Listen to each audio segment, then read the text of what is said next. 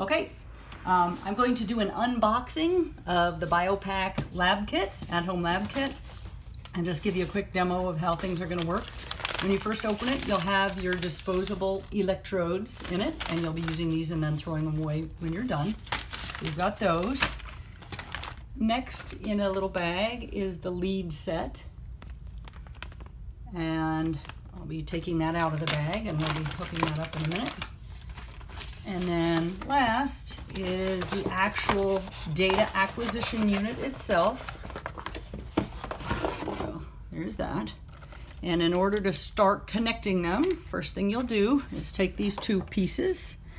And if you look at the connector points, they connect up like that.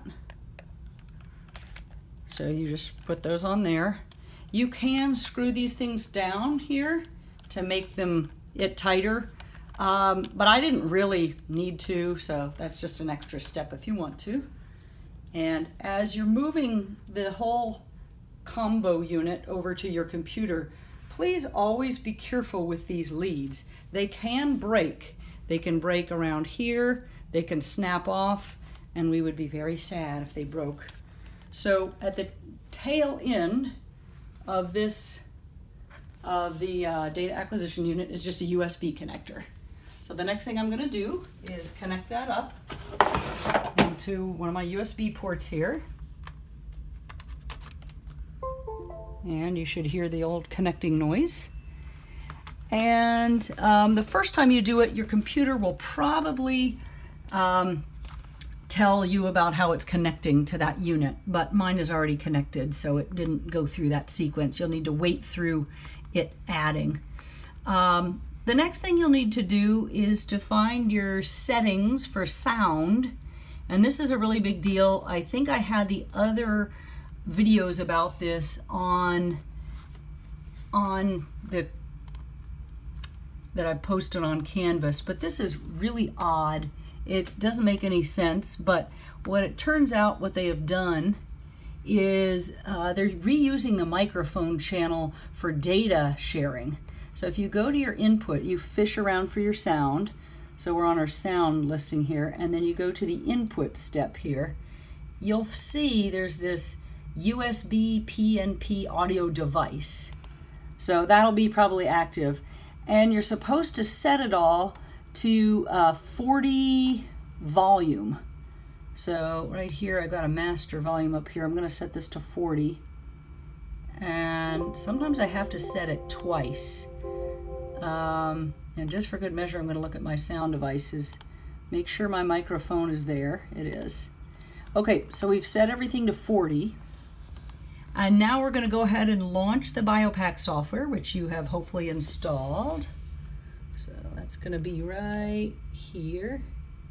So I'm going to launch mine. And it'll flicker on a screen, and then it's going to prompt you for what you need to do next. So um, we're, we're going to start with the electromyography. And uh, so I'm going to double click on electromyography. Mm -hmm. And it prompts you to name it. I'm just going to name it Brittany EMG. Let's see if I typed it right with one hand. I got it. Okay. Say okay.